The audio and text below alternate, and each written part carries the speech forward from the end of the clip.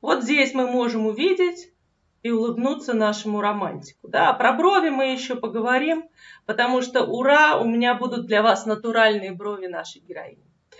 Я сейчас вернусь э, с, э, немножко в предысторию. Так вот, когда-то давным-давно, в самом начале практики, это много лет назад, меня интересовало, я страстно желала увидеть чистые типажи.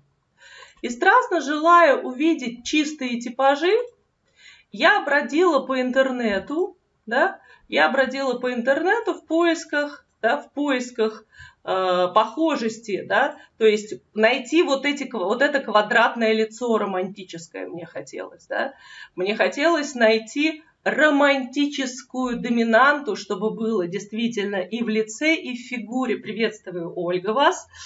Вот. А, то есть я бродила и бродила и бродила, и о чудо, и однажды я встречаю нашу героиню, я думаю, боже мой, а я роста не знала.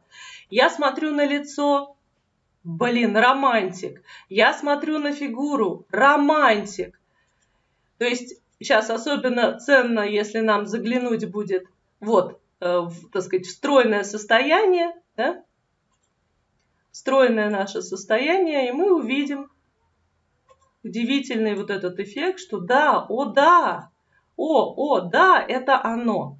Да, то есть вот эта вот легкая грудная клетка, переходящая, да, деликатная грудь, приветствую, Анастасия, переходящая в объемные бедра.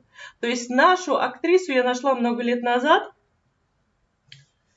благодаря романтической доминанте, да, то есть тот, то, та пора, когда я искала чистого романтика. Девушки, кто присоединился?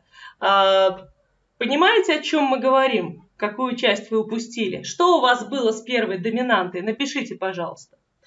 И сейчас те, кто уже с самого начала присутствует, дайте знать, увидели ли вы, да, увидели ли вы романтическую доминанту в нашей красавице